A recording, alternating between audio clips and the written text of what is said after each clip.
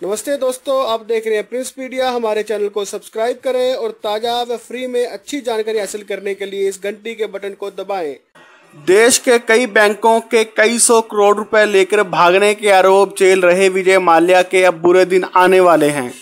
प्रधानमंत्री नरेंद्र मोदी अब खुद माल्या के पीछे पड़ चुके हैं और जर्मनी में जी ट्वेंटी समिट के दौरान सभी औपचारिक मुद्दों के अलावा प्रधानमंत्री नरेंद्र मोदी ने इंग्लैंड की प्रधानमंत्री के समक्ष माल्या के प्रत्यर्पण का मुद्दा उठाया।